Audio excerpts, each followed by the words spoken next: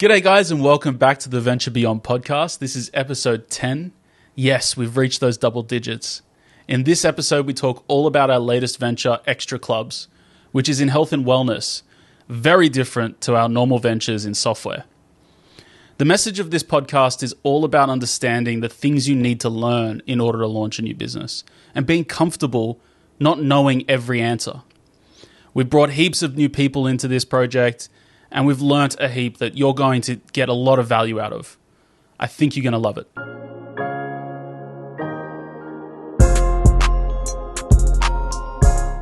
Okay, so it's been a pretty intense few months since we've been on the pod. It's been a while. It uh, has been truly venturing beyond, beyond into a place where I have, we have no experience. Um, off the back of a what we think is a, a stellar idea. The concept is super strong, but uh, it's in wellness, which is far beyond our field of expertise.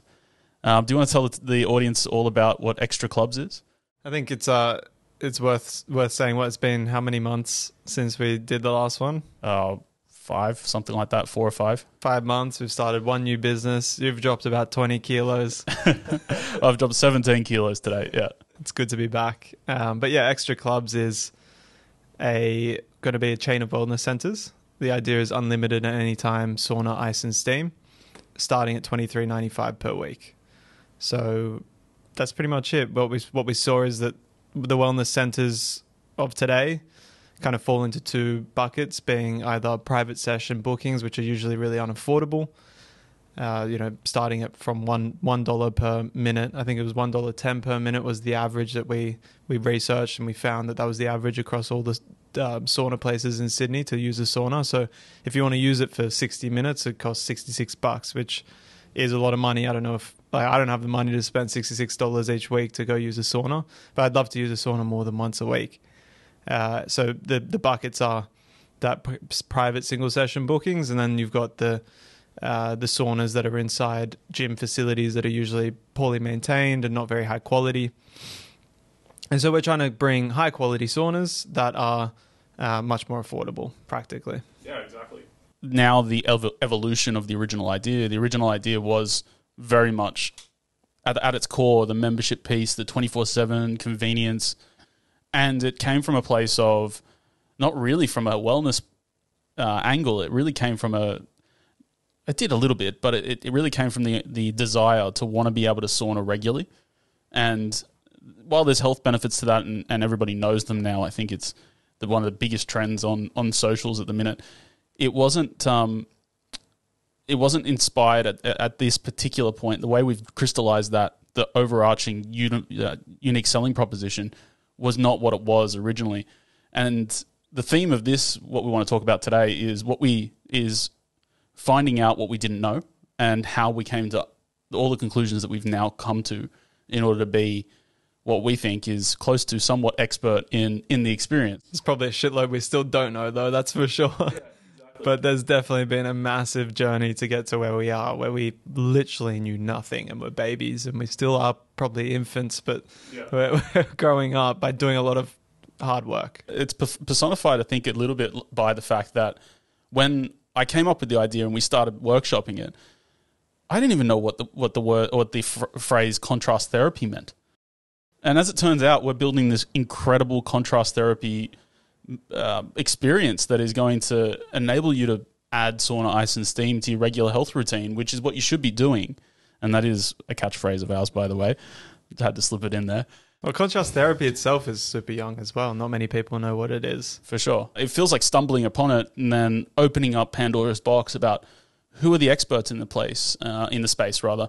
Who's talking about the health benefits? Why are they talking about it? What are the intricacies of those health benefits that we can then put into our user experience and therefore design a whole build around, you know?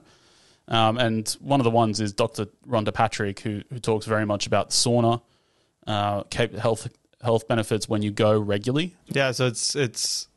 I, said six, 60 minutes before because Dr. Rhonda Patrick's study. She studied a group, a large group of people for 20 years, all different ages and using sauna um, at different frequencies um, throughout the week. So, like some people would use it once a week, some four four times a week. And what she found was the optimal amount of times is four times a week for 15 minute sessions.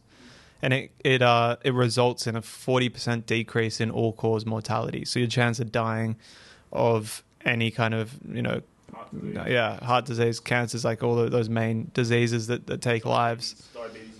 I think cancer's about was like thirty percent or something like that decrease. Then heart disease, it's a bit more. So obviously, I mean, whichever way you cut it, forty percent decrease is massive. For me, over this period of especially my wellness journey being the fact that look, I I mean, if you hold up a, a picture of me in the the last episode, I was just starting, but the episode before that, I think I look at myself, you know, six months ago, seven months ago, and I, I'm like, that guy needs help, and part of that was um, finding answers to what would work for me uh, in terms of my regular health routine. And one of the things I really wanted to do, which sparked the original idea, was sauna and now ice bath. Originally, I didn't think about ice bath at all, but uh, having now done many ice baths and and seeing that and feeling that benefit, I mean, just the the literal euphoria you have, and like brain firing and just everything going hard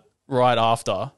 And I realize now that the double entendre of what I just said, but everything really firing like incredibly well after you get out of the ice bath is um, is something that continued to motivate me as I was going through this journey. And then uh, as we've been designing the space, it's it's informed our decision making. I think it's been it's been one of those things where we're really conscious of the uh, contrast therapy routines the, the 15 minutes in the sauna, the three minutes in the bath, and so on. It's been so important to practice it as we've been trying to discover or create the business. Like, I, I was going to the sauna really frequently, icebergs. I still do, even though the sauna there kind of sucks. Sorry. Um, but it's we've also then gone to a bunch of competitors, like almost all of the competitors, I'd say, CD Cave, Soak, you know, you name it. We've we've been there now to to see what they're doing well and what they're doing they could be doing better. And and without that, without the real, it's so illuminating when you go and you're creating a new business and you go to the competitor and you sit in the sauna and you start like tapping the roof and being like, what's the roof made out of? And like I don't know, just like all these little intricacies of of design that actually make a massive difference. And for creating a business like what we're trying to create, where it's a template that we can roll out across many locations, I think doing that that that work, the groundwork, like actually going there, is so informative. It's something we tell our clients all the time. You know, somebody will come in, especially entrepreneurs, come in with a grand vision of the future, and it's come from a, a place deep inside of them, something that is that you can't put your finger on. And this is exactly the, the Xtra story. You know, it came from a place I have no idea how it hit me. But then everything else we've done from there is actually following our own advice and and following it really well. And the thing that I, we have to emphasize for all of our clients and also for anybody listening is the fact that if you don't go and see your competitors, if you don't go and touch the product, let's say let's say you're doing something in e-commerce and you don't go and buy every product that you can find that is comparable, then you're going to make missteps. It's as simple as that. Yeah, it's the easiest way to just kind of jump over a bunch of hurdles. I mean, there's still going to be a shitload more, but if you go and feel the, you, you, you experience the product and, and you understand why they've designed things the, the way they have, you can't get it online. You can't you can't do it by like just like reading their website. You know, you know, like looking at images. You really need to be there to, to answer those questions. Yeah, because I mean, the the companies that are selling those competitor products are going to tell you the best things about it you're going to then witness it as a customer and experience the worst things or potentially the biggest gaps. Because not necessarily always a bad experience. It could just be something missing that you can add to it, which probably is a good segue into what we think is missing and what we're adding into Xtra. And we're obviously, as you know, tech people that we are, and you know, very uh, very software focused, we are putting a lot of tech into this experience. And before we talk about the specifics, we are being conscious of the fact that in a wellness space, we don't want to be connected to technology, but what we do want to, like in the sense that we don't want to be in a sauna holding a phone, but we want the tech to make the experience so incredibly seamless and so unique that it builds a moat around the business, and it becomes that. I keep saying to our team always uh, talk about the the Apple experience. You know, the Apple ecosystem, the walled garden. Once you get into Apple, we want that to be for. We want Xtra Clubs to have that element to it. which is exciting because in the health and wellness industry, it doesn't it really exists, and like I think I think a lot of people get starting in business. At least I'll, I'll talk for myself, but uh, I believe this because it, it does affect me. Is when they and we've heard a bunch of clients come to us before who want to start something new, but then they're like, oh, but then there's that competitor already doing it. Like someone's already done it. It's like, yeah, dude. There's going to always be hundreds of competitors doing what you're doing. I think it's like for me, getting into this and, and every day, like even today, we found out that there's a big chain of gyms supposedly doing a lot of wellness centers that they're going to be opening up 100 over the next year or some shit like that. Don't know the, the details, but that's what we've just been told by a, a steam generator guy. Uh, that there will be competitors. They, the marketplace, if there is demand, will have many different brands trying to do something great. But if you can create something in your brand that is a combination of excellent experience, you know, positioned perfectly for, for who your end user is, that you'll create a, a product, a, a brand that's long lasting. Yeah, and connect with them on, on that more on that deeper level because like we, we were talking about, yes, it, it kind of is it feels earth shattering when you hear that somebody else is entering the space, but it does two things. It it uh, validates demand without a doubt. It's like if, if a big company is going to invest in a space, it means that they've done the research, they've probably put enough time and effort into saying that that, that demand needs to be satisfied. So they're going to go after it.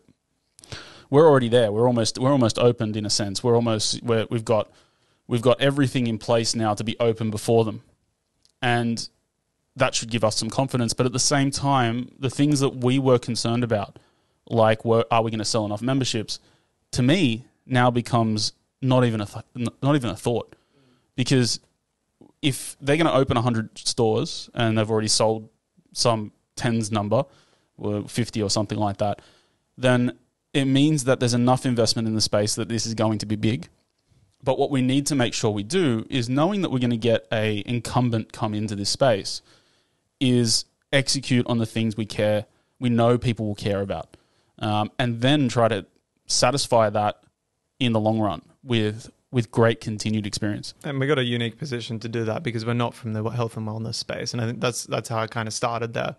Was that we spoke with the, the CEO of a, of a large gym chain, and the first thing he said to us when we got on that call, you remember, yeah, yeah. yeah. was uh, just last week I was talking about how this part of the industry needs to be shaken up, and how it needs to be done by somebody from outside of the industry. Yeah.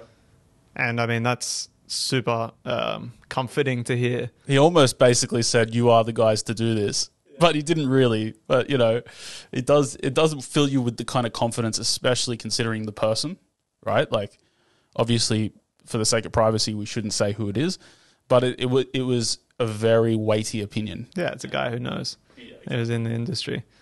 Anyway, I mean, look, we got to execute, right? Yeah. Now we got to execute. And what what we're executing on, I think, you know, one thing I, I do want to talk about is your experience in um, in Finland and what you found, what you learned about sauna, and because James was, I guess the timing was perfect, where you already had a Europe trip booked, so you diverted your attention to becoming a sauna god. I went to Helsinki, uh, which is obviously the capital of, of traditional of sauna. Finland is Finland and Russia are the two birthplaces of sauna. In Finland, uh, there's some crazy stat like there's there's a there's a sauna for there's more than a sauna for every person in Finland or something like that. My Airbnb had a sauna in it. I'm like, what?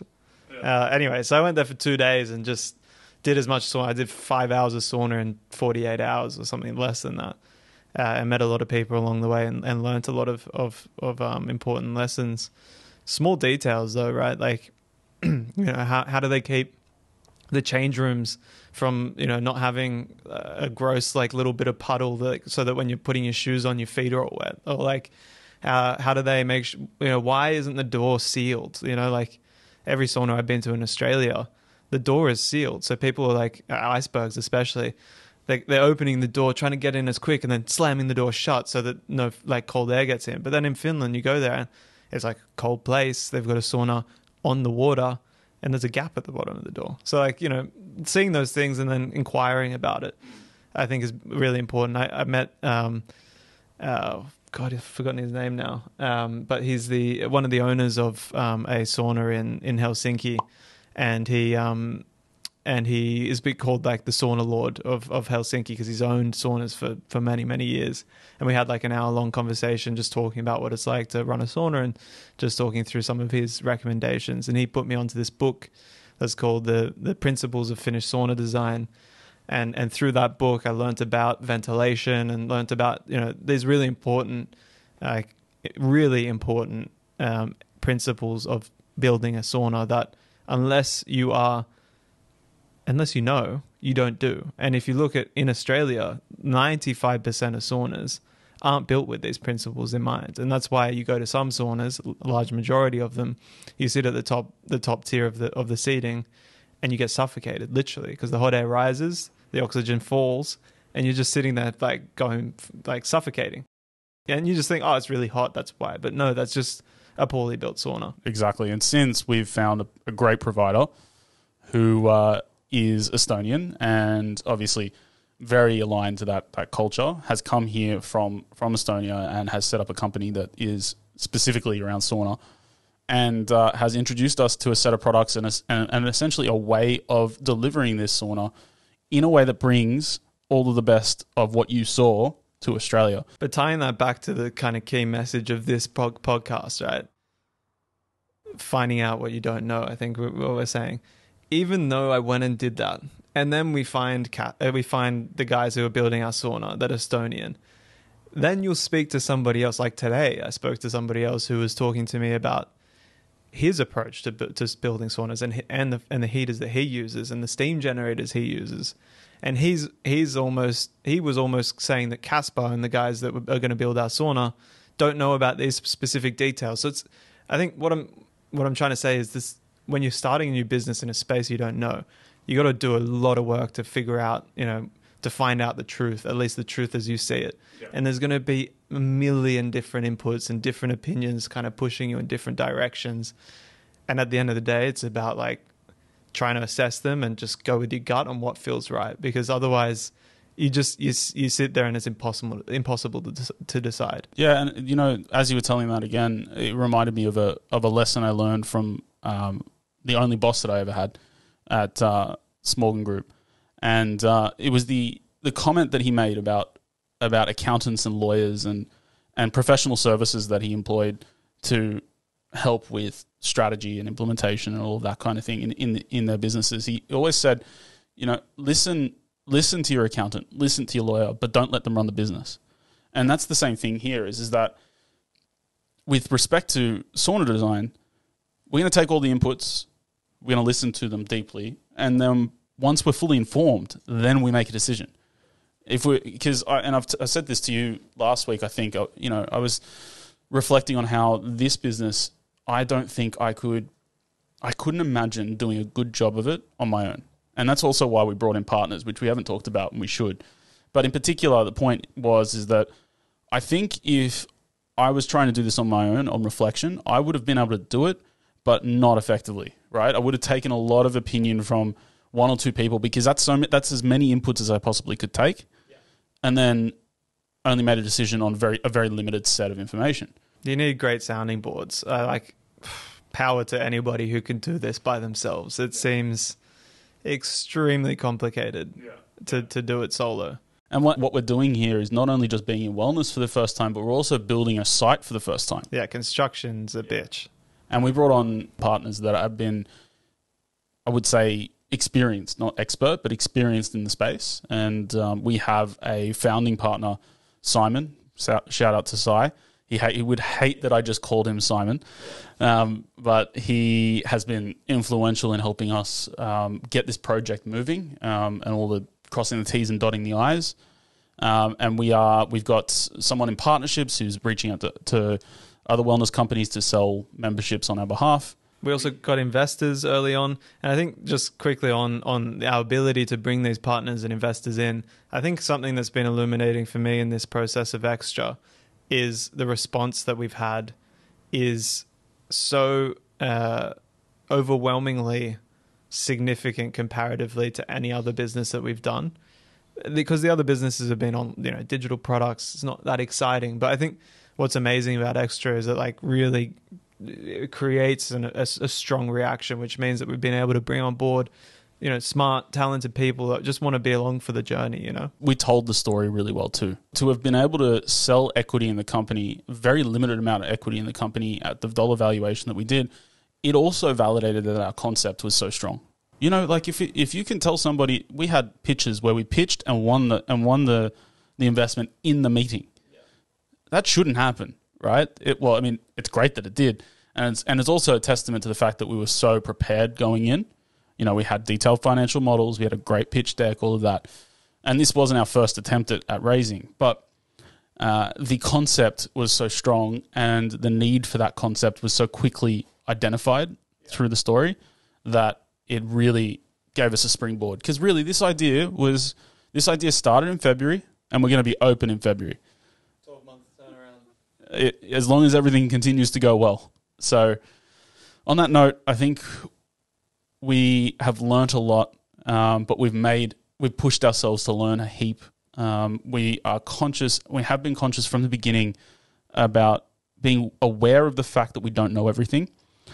Having the humility to to say that, um, but not only just say it, but then put it into action, has been has been a strength I've seen of ours, and I also think we uh, are poised to to make the most of it. But we still are going to run into a heap of question marks, and I think the the key message is is being comfortable with it and being okay with it and and just embracing it and being like being some days really deflated but being having but knowing that that deflation is going to lead you to elation later yeah actually there's there's one more little key with this that i i, I said once to to blue who, who, was asking about how how how this is all happening uh, how how we're making sure that we're getting the best result and I think the thing that for me has hit hard is that whenever something smells like it needs attention or smells a bit off, you have to just push so hard down that path.